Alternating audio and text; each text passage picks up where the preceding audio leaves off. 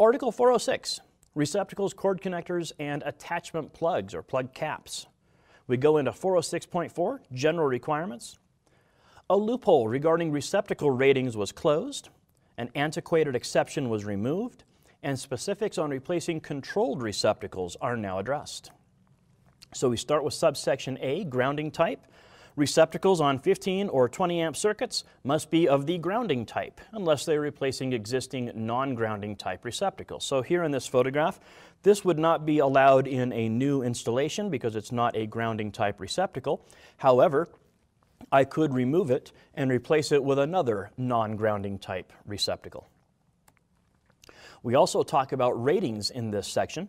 Receptacles may only be used on circuits for which they are rated other than as allowed in 210.21b1 for receptacles or table 210.21b3 for multiple receptacles. So, for example, in the photograph, we've got a 15 amp duplex receptacle. However, you can put a 15 amp duplex receptacle on a 20 amp circuit, and that's what table 210.21b3 covers. Now, why can you do that? Well, the reason is this receptacle is actually probably rated not just for 125 volt 15 amp, but for 250 volt 15 and 20 amp. You wouldn't be able to put a 20 amp cord connect, uh, attachment plug into this, but if you look at the internal construction of this receptacle, you'll notice that it actually is rated for multiple types of attachment plugs. So the plastic cover on it limits the usage to a 125 volt 15 amp cord. But when you look here at the internal components, those would accept a 125 volt 15 or 20 amp attachment plug, and it would accept a 250 volt 15 or 20 amp attachment plug. So that's why you can put this receptacle on a 20 amp circuit, is because the internal components are probably rated for it. We have rules for replacing receptacles. Subsection D, receptacle replacements must comply with the following requirements. AFCI or GFCI type receptacles must be installed in readily accessible locations. So if I'm replacing a receptacle that now requires GFCI protection, I would have to provide GFCI protection. But I'd have to be careful where I locate the actual test and reset button because that must be in a readily accessible location. Now that didn't change. What changed is this, subsection 4, which talks about AFCIs.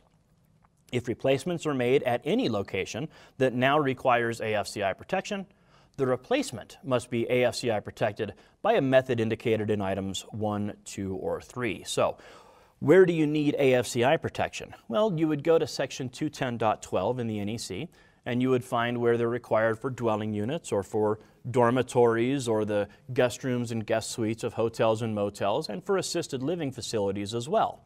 And this section is saying, look, if you remove and replace a receptacle in an area that requires AFCI protection, you need to provide AFCI protection.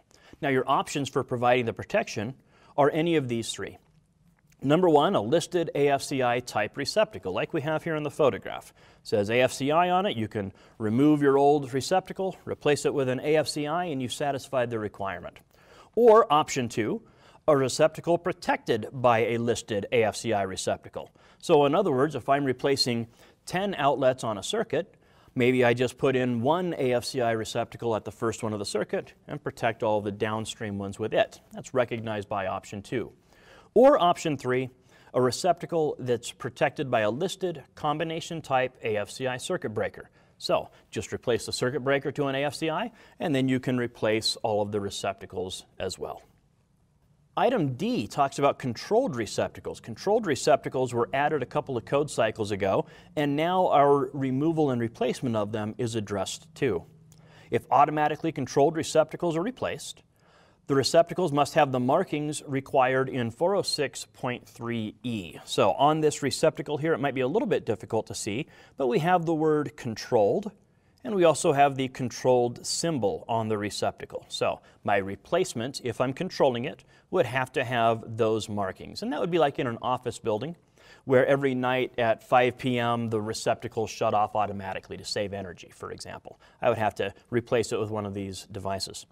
If a receptacle that was controlled is no longer being controlled, then its replacement must not be marked as controlled. So you can replace it with a receptacle that no longer has those markings and you're good to go.